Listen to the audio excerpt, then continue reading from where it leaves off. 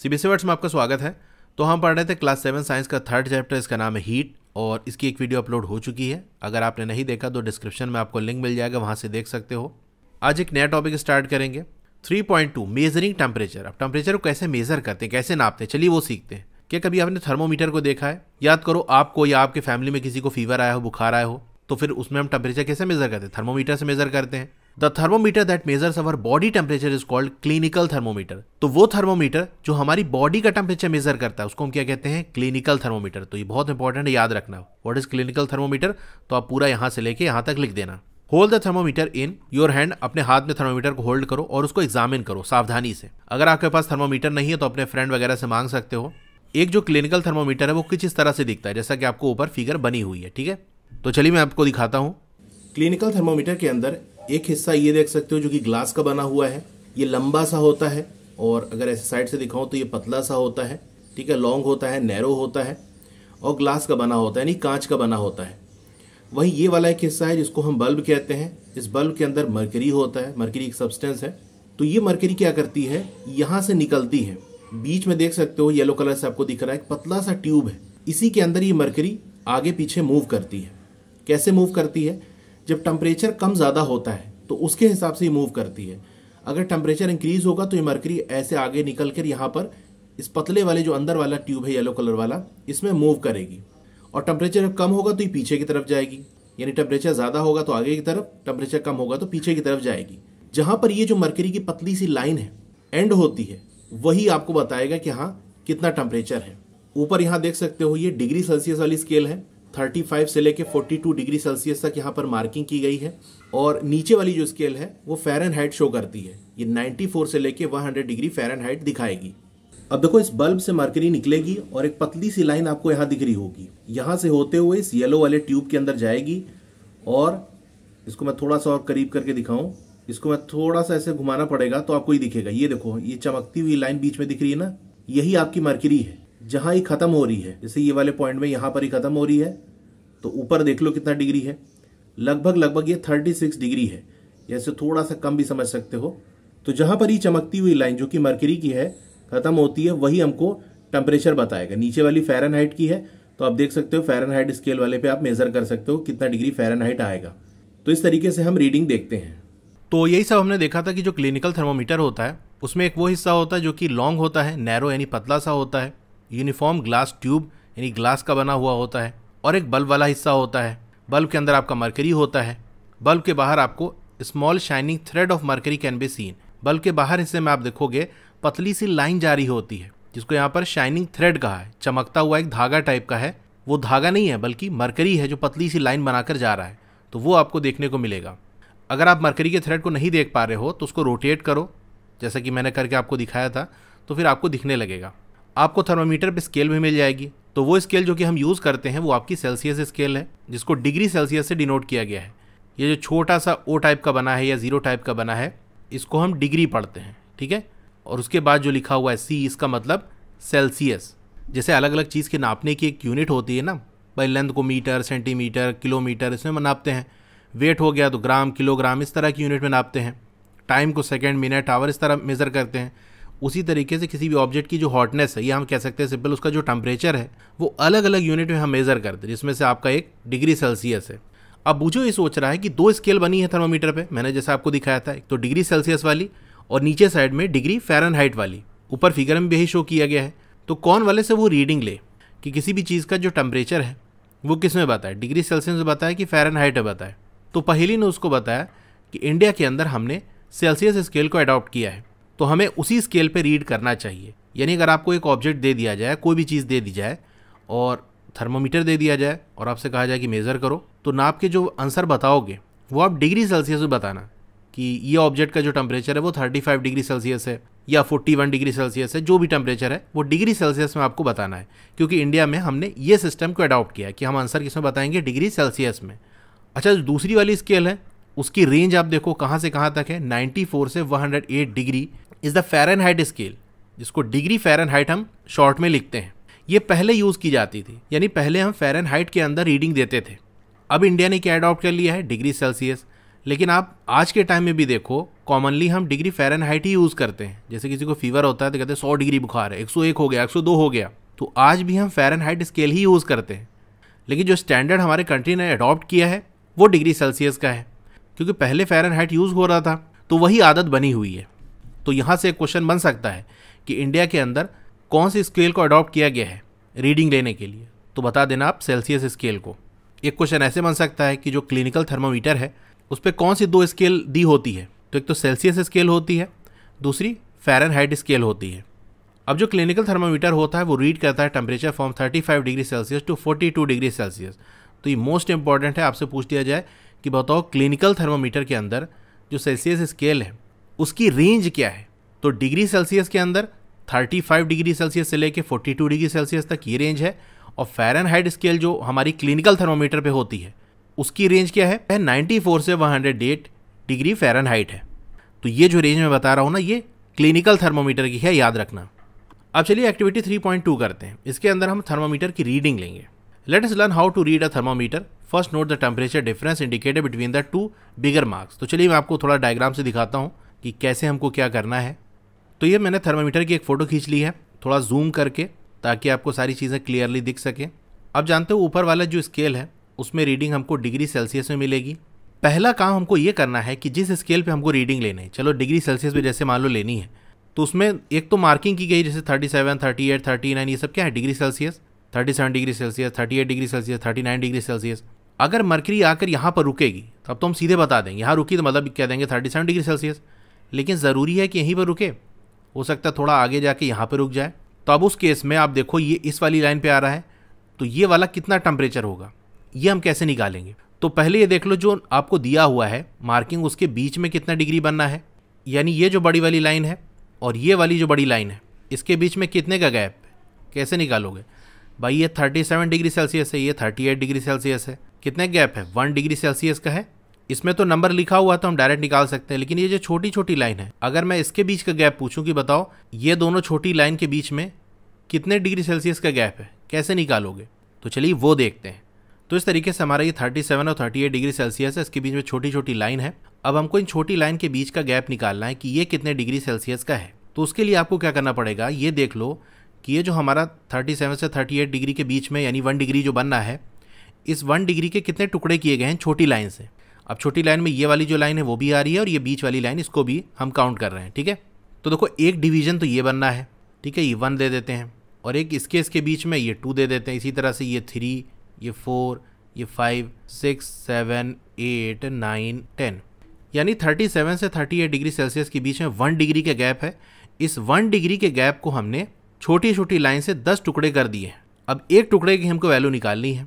तो टोटल हमारे ten division को मिला लें। यानी यहाँ वन से लेकर टेन तक पूरा मिला लें तो ये किसके बराबर है? वन डिग्री सेल्सियस के, यही गैप है, यही डिफरेंस है थर्टी सेवन और थर्टी एट के बीच में। एक डिवीज़न की वैल्यू हमको निकालनी है कि एक जो गैप है छोटी लाइन के बीच का, वो कितने डिग्री सेल्सियस का है? तो हम क्या करेंगे? टेन से डिवाइड कर देंगे, जैसा कि आप मैथ्स में करते हो।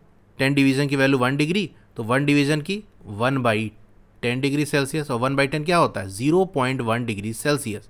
इसका मतलब यहाँ से लेके यहाँ तक जो टेम्परेचर का गैप है वो वन डिग्री सेल्सियस का है और छोटी लाइन, कोई सी भी दो छोटी लाइन ले लो, इनके बीच का जो गैप है, वो zero point one degree Celsius का है। अब मान लो मरकरी की रीडिंग इस तरह से चलते हुए आके यहाँ पर रुकी तो बताओ कितना डिग्री सेल्सियस है, कैसे बताओगे? तो हम जानते हैं इसके बीच का जो गैप है, अभी हमने निकाला zero point one degree Celsius का। यहाँ से यहाँ के बीच का भी हमारा ज़ीरो पॉइंट वन होगा, इसके बीच में ज़ीरो पॉइंट वन डिग्री का और इसके बीच में ज़ीरो पॉइंट वन डिग्री का। यानी थर्टी सेवन तक तो चलेंगे ही। साथ ही साथ ये जो zero point one zero point one zero point one zero point one है, इनको भी काउंट कर लो। तो टोटल चार हैं तो ज़ीरो पॉइंट वन को फोर से मल्टीप्लाई कर देंगे, आपका ज़ीरो पॉइंट फोर आ जाएगा। यानी यहाँ तक तो हमारा थर्टी सेवन डिग्री सेल्सियस है और यहाँ से यहाँ तक का जो है, वो zero point four degree Celsius है। तो टोटल वैल्यू कितनी आ जाएगी? Thirty seven degree Celsius. Plus zero point four degree Celsius. इनको ऐड करोगे तो thirty seven point four degree Celsius आ जाएगा। ये इतना कॉम्प्लिकेटेड नहीं है, ये तो मैंने पूरा कैलकुलेट करके बताया। अब सिंपल वे में आप कैसे करोगे, थोड़ा सा वो देख लो। तो जिस स्केल पे मेज़र कर रहे हो, पहला काम आपको ये करना है कि छोटी लाइन के बीच का गैप निकाल लेना है। जैसे यहाँ पर ज़ीरो पॉइंट वन आ गया। अब क्या करो, जहाँ पर भी आके रुक रहा है, ये मरकरी मान लो आके ये यहाँ पर रुकी। तो यहाँ तक जितनी छोटी लाइन उसको काउंट कर लो। One two three four five six seven seven वाली पे आकर रुकी तो बस सेवन को जो हमने एक डिवीज़न की वैल्यू निकाली थी 0.1 डिग्री सेल्सियस, इससे मल्टीप्लाई कर देंगे तो आपका 0.7 डिग्री सेल्सियस आ जाएगा। तो यहाँ तक तो 37 तक चला था, उसके बाद इतने की जो वैल्यू है वो हमने निकाली है तो आ जाएगा 37.7 डिग्री सेल्सियस। यानी जहाँ तक पूरा पूरा चल रहा है वो, और उसके बाद जो छोटी छोटी लाइन कवर कर रहा है, उसको काउंट करके डिवीज़न की जो वैल्यू उससे मल्टीप्लाई कर दो, फिर जो आए, पॉइंट लगा उसके साथ में लिख दो। तो thirty seven point seven degree Celsius हो जाएगा। इस तरह से आपको टेम्परेचर की रीडिंग करनी है। ये तो डिग्री सेल्सियस का हो गया, थोड़ा सा फ़ैरन हाइट का भी देख लेते हैं। अब यहाँ पर जैसे मान लो, ये वाली लाइन हम ले लेते हैं तो ये आपका हंड्रेड डिग्री है। ये टू लिखा है, इसका मतलब वन हंड्रेड टू डिग्री है। अब क्योंकि जगह नहीं रहती ना इतनी, मान लो यहाँ वन हंड्रेड टू लिखते, थोड़ा मिक्सअप हो जाता। तो इसीलिए शॉर्ट में लिखा गया है। वरना ये टू डिग्री फ़ैरन हाइट नहीं है, बल्कि वन हंड्रेड टू डिग्री है। अच्छा छोटा लिख दें तो दिखेगा नहीं, बड़ा लिख दें तो क्योंकि इतनी जगह नहीं है सही से आ नहीं पाएगा, इसीलिए शॉर्ट में लिखा जाता है। तो ये आपका हंड्रेड है। अब आप कहोगे ये हंड्रेड है और ये हंड्रेड टू है तो वह हंड्रेड वन कहाँ गया?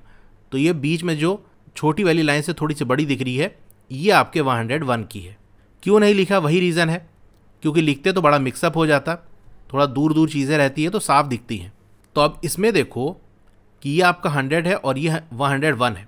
इसके बीच में कितनी छोटी लाइन है? One two three four four line है ना? अब इसको मैं आपको बना के दिखाता हूँ कि हंड्रेड और वन हंड्रेड वन के बीच में चार छोटी लाइन है, ये याद रखना। तो ये हमारा है हंड्रेड डिग्री फ़ैरन हाइट क्योंकि नीचे वाली स्केल किसकी है? फ़ैरन हाइट की है, और ये one hundred one degree Fahrenheit की है। अब इनके बीच का गैप अगर मैं पूछूँ कितने का है तो वन डिग्री फ़ैरन हाइट का है। भाई हंड्रेड और वन हंड्रेड वन में कितने गैप है? वन का गैप है। अब इन छोटी वाली लाइन के बीच में कितने गैप है, हम कैसे निकालेंगे?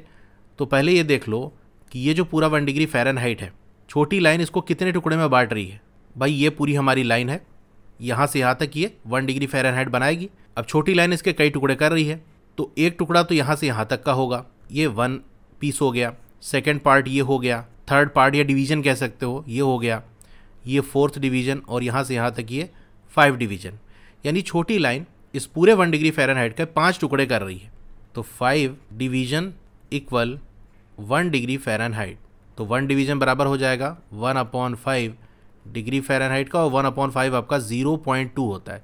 तो zero point two degree Fahrenheit यानी एक जो छोटी लाइन है, वो आपका zero point two degree Fahrenheit को शो करेगी। जैसे हमने डिग्री सेल्सियस में किया था, ठीक उसी तरीके से हम कर लेंगे कि मरकरी मान लो जैसे आके यहाँ पर रुका तो भाई यहाँ तक तो 100 डिग्री फ़ारेनहाइट है। बाकी ये जो पूरा इतना हिस्सा है, ये कितना है, इसके लिए हम क्या करेंगे? कितनी छोटी लाइन कवर हो रही है वो काउंट कर लो। तो ये वन, टू, थ्री। बस यहाँ तक जा रही है ना, क्योंकि यहीं तक आके ये पहुँच रही है।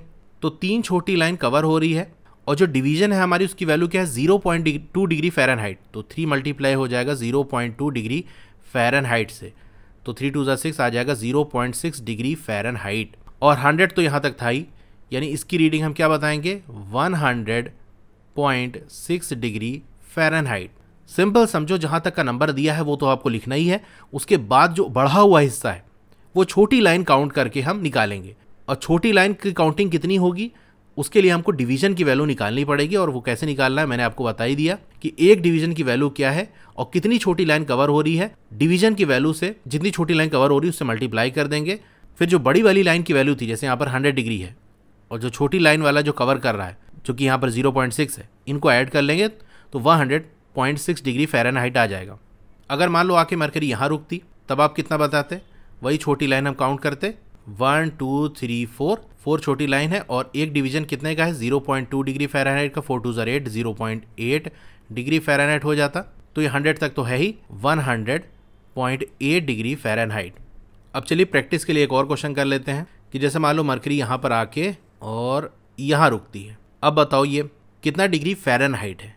ये आपसे पूछा जा रहा है। यानी नीचे वाली स्केल हम देखेंगे तो ये हमारा 104 है। उसके बाद ये जो थोड़ी सी बड़ी लाइन है, ये 105 दिखाएगी और ये आपका 106 लिखा ही हुआ है। तो देखो, यहाँ तक तो 105 हो गया। अब ये जो इतना हिस्सा बढ़ा है, उसको हमको काउंट करना है और एक छोटी लाइन अभी हमने निकाला था फ़ैरन हाइट वाली स्केल में 0.2 को शो करती है। तो 105 हंड्रेड यहाँ तक और उसके बाद 0.2 तो इसकी वैल्यू आ जाएगी 105.2 डिग्री फ़ैरन हाइट तो जो चीज़ मैंने आपको करके दिखाई, वही सारी चीज़ यहाँ पर लिखी हुई also note down the number of division shown by smaller marks तो सबसे पहले गैप निकाल लेना है कि जो बड़ी बड़ी वैल्यूज़ दी हैं, उनके बीच में कितने का गैप है। अब जैसे मान लो जो बड़ा वाला मार्क है, वो रीड कर रहा है वन डिग्री और पाँच डिवीज़न है उनके बीच में छोटी छोटी लाइन के। तो वन स्मॉल डिवीज़न कितना हो जाएगा? वन बाई फाइव जिसकी zero point two degree Celsius होता है। तो ये थर्मोमीटर तो थर्मोमीटर डिपेंड करता है। अगर मान लो आपके थर्मोमीटर में फाइव डिवीजन्स दिए हुए हैं डिग्री सेल्सियस में तो आपका ये zero point two degree Celsius का आ जाएगा। जो थर्मोमीटर मैंने आपको फ़ोटो में दिखाया था, उसमें टेन डिवीजन्स थे। अब टेम्परेचर नापने से पहले, आपको क्या करना है, थर्मोमीटर को धो लेना है, preferably with an antiseptic solution. अगर आपके पास एंटीसेप्टिक सोल्यूशन है तो वो ज़्यादा बेहतर है, उससे धोना है। अब ये एंटीसेप्टिक सोल्यूशन कहाँ मिलेगा? ये नॉर्मल आपको मार्केट में मिल जाएगा। डिटॉल का भी आता है, वो जो ब्राउन कलर का आता है ना, बॉटल में लिक्विड, वही आपका एंटीसेप्टिक सोल्यूशन होता है। तो उससे धो लो, नहीं तो हम जनरली क्या करते हैं, पानी से ही धो लेते हैं, उससे भी काम चल जाएगा।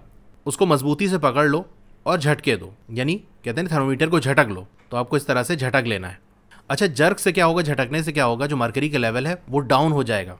यानी मरकरी की जो लाइन बननी ही थी ना, चमकती हुई जो थ्रेड बनना था, वो बल्ब की तरफ़ मूव करने लगेगा। जितना आप झटकोगे, वो टेम्परेचर नीचे की तरफ़ जाने लगेगा। यानी मरकरी का जो लेवल है, वो डाउन होने लगेगा। कब तक झटकना है? जब तक वो 35 डिग्री सेल्सियस से नीचे ना चला जाए। जब 35 डिग्री सेल्सियस से नीचे चला जाए now place the bulb of the thermometer under your tongue तो फिर जो बल्ब वाला हिस्सा है, उसको अपनी टंग के नीचे रखना है। एक मिनट के बाद थर्मोमीटर को बाहर निकाल लो और रीडिंग को नोट करो। जो भी रीडिंग आपको मिलेगी, कैसे रीडिंग लेनी है, वो सारा मैंने आपको दिखाई दिया। कि थर्मोमीटर देख के आप कैसे बताओ कितना डिग्री सेल्सियस या कितना डिग्री फेरन है। तो जो भी आएगा, वो आपके बॉडी का टेम्परेचर है। अब टेम्परेचर को हमेशा आपको यूनिट के साथ दिखाना है। ऐसा नहीं कि आपने कह दिया थर्टी सेवन है। अब थर्टी सेवन क्या है भैया? डिग्री सेल्सियस है, डिग्री फेरन है, क्या है? अब जैसे कि इंडियन सिस्टम के अंदर हमको डिग्री सेल्सियस यूज़ करना है तो डिग्री सेल्सियस में बताना पड़ेगा। तो नापने के बाद आप बताओ कि आपकी बॉडी का टेम्परेचर कितना है। अच्छा ऊपर भी कुछ चीज़ें दी उसको थोड़ा सा पहले देख लेते हैं। Precaution to be observe while using a clinical thermometer तो क्लिनिकल थर्मोमीटर को यूज़ करने के लिए कुछ चीज़ें आपको ध्यान रखनी कैसे यूज़ करना है वो जान लो। पहली बात थर्मोमीटर को धो लेना है यूज़ करने से पहले। बेहतर यह है कि एंटीसेप्टिक सोल्यूशन से धोया जाए। इस बात का आपको ध्यान रखना है कि मरकरी को जो लेवल है वो 35 डिग्री सेल्सियस से नीचे हो।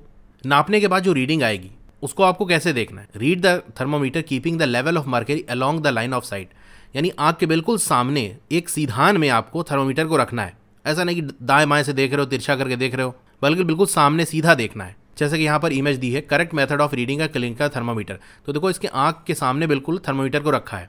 ऐसा नहीं कि इधर रख दिया साइड से देख रहे हैं, या इधर रख दिया, बिल्कुल सामने रखना है। थर्मोमीटर को आपको बहुत सावधानी से हैंडल करना है। अगर किसी हार्ड ऑब्जेक्ट से टकरा जाएगा तो टूट सकता है। एक बात का और ध्यान रखना है कि थर्मामीटर को आपको उसके बल्ब से नहीं होल्ड करना है, जब उसकी रीडिंग ले रहे हो। जैसे यहाँ पर इसने देखो, इसके ग्लास वाले हिस्से को पकड़ा है। इस वाले हिस्से को टच नहीं करना है, जब रीडिंग ले रहे हो।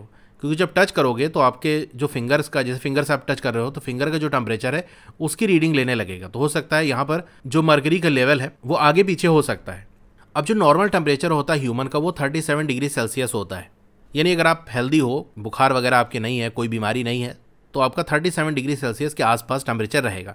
इसको नॉर्मल माना गया है। इस बात को नोट करना है कि टेम्परेचर को हमेशा उसकी यूनिट के साथ दिखाना है। अब पहली ने अपने बॉडी के टेम्परेचर को मेज़र किया। अब उसको एक चिंता हो गई कि उसने जो टेम्परेचर मेज़र किया ना तो वो exactly thirty seven degree Celsius नहीं आ रहा है। हो सकता है थोड़ा सा कम आ रहा हो या थोड़ा सा ज़्यादा आ रहा हो। लेकिन यहाँ पर लिखा है कि जो नॉर्मल टेम्परेचर वो थर्टी सेवन डिग्री सेल्सियस होना चाहिए। इसका तो थोड़ा सा कम ज़्यादा है। तो चलिए पहली को इस बात को समझाते हैं कि इसकी में कोई चिंता की बात नहीं है। यानी थोड़ा कम ज़्यादा हो सकता है। बिल्कुल एग्जैक्ट ज़रूरी नहीं कि 37 डिग्री सेल्सियस ही आ जाए। तो चलिए एक्टिविटी करते हैं एक्टिविटी 3.3 मेज़र करो body temperature of your friends कम से कम 10 दोस्तों को ले लो और उनके बॉडी का टेम्परेचर मेज़र करो। फिर इस टेबल के अंदर आपको भर देना है। यहाँ पर नाम लिख दो, यहाँ पर टेम्परेचर लिख दो। तो चलिए मैं आपको थोड़ा एग्ज़ाम्पल के लिए बता देता हूँ। जैसे मान लो, एक आपका फ्रेंड है सुमित। उसका टेम्परेचर आपने नापा, आया thirty seven point two degree Celsius एक दोस्त आपका है राहुल। उसका नापा तो आपका आया thirty six point eight degree Celsius तो देखो, ये एग्जैक्ट 37 नहीं है। यहाँ पर 37 से थोड़ा सा ज़्यादा है पॉइंट टू डिग्री और यहाँ पर 37 से थोड़ा कम है। तो क्या ये लोग बीमार हैं? ऐसी बात नहीं है। जैसे मैंने आपको बताया कि 37 से थोड़ा सा कम ज़्यादा हो सकता है, उससे कोई टेंशन की बात नहीं है। तो दस दोस्तों का आपको टेम्परेचर मेजर कर लेना है क्लिनिकल थर्मोमीटर से और ऑब्जर्वेशन को रिकॉर्ड करना है। क्या हर बंदे का जो टेम्परेचर है वो थर्टी डिग्री सेल्सियस आया है? तो ऐसा ज़रूरी नहीं है कि हर किसी का टेम्परेचर 37 डिग्री सेल्सियस आया हो। ये थोड़ा सा ज़्यादा, या थोड़ा सा कम आ सकता है। Actually what we call normal temperature is the average body temperature of the large number of healthy person अच्छा ये जो वैल्यू आई थर्टी सेवन डिग्री सेल्सियस कैसे आई? बहुत ज़्यादा जो हेल्दी लोग थे, जो बीमार वगैरह ना हो, उनका टेम्परेचर हमने नाप लिया। तो किसी का थोड़ा सा कम ज़्यादा आया तो उसका जब एवरेज हमने निकाला एवरेज निकालना मैथ में पढ़े हो गए ना, कि सारी वैल्यू को हम ऐड कर देते हैं, और उसके बाद जितने लोगों का हमने सैंपल लिया था, उससे डिवाइड कर देंगे तो एवरेज वैल्यू आ जाएगी। तो बहुत सारे हेल्दी लोगों का टेम्परेचर नाप लिया गया, फिर उसका एवरेज निकाला गया तो 37 डिग्री सेल्सियस आ गया। तो यहाँ से ये पता चला कि अगर कोई आदमी हेल्दी है, कोई बीमारी नहीं है, खास तौर से फीवर वगैरह, जुकाम इस तरह से नहीं है तो उस केस में आपका 37 डिग्री सेल्सियस होगा। इससे थोड़ा सा कम ज़्यादा हो सकता है टेंशन की बात नहीं है। अब जो क्लिनिकल थर्मोमीटर है, उसको इस तरह से डिज़ाइन किया गया है कि वो इंसान की बॉडी का टेम्परेचर मेज़र करे। क्योंकि ह्यूमन बॉडी का जो टेम्परेचर है, वो आमतौर से 35 डिग्री सेल्सियस से न कम जाता है, न 42 डिग्री सेल्सियस से ज़्यादा जाता है। इसीलिए हमने 35 से लेके 42 तक उसमें मार्किंग की है। कि 35 से कम नहीं जाएगा 42 से ज़्यादा नहीं जाएगा तो दिखाने की ज़रूरत ही क्या है? तो यही रीज़न है कि थर्मोमीटर की जो रेंज होती है क्लिनिकल थर्मोमीटर की, वो 35 डिग्री से लेके 42 डिग्री सेल्सियस होती है। अब बूझो तो है शरारती, उसको एक नोटिस आइडिया है, शरारत भरा आइडिया है। वो ये चाहता है कि जो गर्म दूध है, उसका टेम्परेचर मेजर करें इस क्लिनिकल थर्मोमीटर से। पहेली ने उसको रोक दिया कि ऐसा मत करो। अच्छा ऐसा क्यों नहीं करना चाहिए? क्योंकि जैसा मैंने आपको बताया कि जो क्लिनिकल थर्मोमीटर है, वो ह्यूमन बॉडी के टेम्परेचर को मेजर करने के लिए बनाया गया है। तो सिर्फ़ उससे ह्यूमन बॉडी के टेम्परेचर को मेजर करना है और किसी चीज़ का मेज़रमेंट नहीं लेना है कि चलो चाय कितनी गर्म है नाप लें, बर्फ़ कितनी ठंडी है नाप लें, ये नहीं करना है। तो यहाँ पर एक क्वेश्चन है, एक सावधानी वाली चीज़ है, आप ज़रा देखो। Do not use a clinical thermometer for measuring the temperature of any object other than human body human body के अलावा कोई भी और चीज़ का मेज़रमेंट नहीं करना है। Also avoid keeping the thermometer in sun और नियर अ फ्लेम और एक बात का ध्यान रखना है थर्मामीटर को आपको धूप में नहीं रखना या फ्लेम आग वगैरह जल रही उसके करीब नहीं रखना है। इससे क्या होगा, ये टूट जाएगा, क्योंकि देखो एक रेंज है। अगर उससे ठंडा होगा तो एक कॉन्सेप्ट होता है कॉन्ट्रैक्शन और एक्सपेंशन का, जो कि हायर क्लासेस में आप पढ़ोगे, उसकी वजह से ये टूट जाता है। अब आप धूप में रख दोगे तो उसका जो है मरकरी का लेवल बढ़ने लगेगा। आग के करीब रखोगे तो उसकी गर्मी से वो लेवल बढ़ने लगेगा तो उसकी वजह से ये टूट जाएगा। तो बूझो को भी इसी वजह से मना किया जा रहा था कि हॉट मिल्क का टेम्परेचर इससे मत मेज़र करो, क्योंकि उसका टेम्परेचर काफ़ी ज़्यादा होता है। और ये थर्मामीटर उसको नाप नहीं पाएगा, टूट जाएगा वो अलग से। तो ये था इस टॉपिक के अंदर। आई होप आप समझ गए होगे किस तरीके से हम थर्मामीटर से रीडिंग लेते हैं। तो इस वीडियो को हम यहीं एंड करते हैं। क्लास सेवन की और भी वीडियोस देखनी है तो इस तरह से आपकी वीडियो चल रही होगी। पहले वीडियो को लाइक कर लो चैनल को सब्सक्राइब कर लो। मोर पे क्लिक करना है, फिर से मोर पे क्लिक करोगे तो डिस्क्रिप्शन ओपन हो जाएगा। यहाँ आपको व्हाट्सएप चैनल का लिंक मिल जाएगा। तो इससे आप मेरे व्हाट्सएप चैनल से ज्वाइन हो सकते हो। डोंट वरी आपका नाम और फ़ोन नंबर किसी को विजिबल नहीं होगा। व्हाट्सएप चैनल पर नई वीडियो की अपडेट आपको मिलती रहेंगी। फिर एक्सरसाइज और ट्राइडिस का सोल्यूशन देखने तो मेरी वेबसाइट है ई स्टडी वाला डॉट कॉम उसका लिंक भी है, वहाँ से आप विज़िट कर सकते हो। और नीचे आओ तो क्लास सेवन मैथ्स के चैप्टर वाइज प्लेलिस्ट का लिंक आपको मिल जाएगा, जिस चैप्टर की वीडियो देखनी है, उसके नीचे दिए हुए लिंक पर क्लिक करोगे तो चैप्टर की प्लेलिस्ट ओपन हो जाएगी। इसी तरह और भी सब्जेक्ट की प्लेलिस्ट का लिंक आपको मिल जाएगा।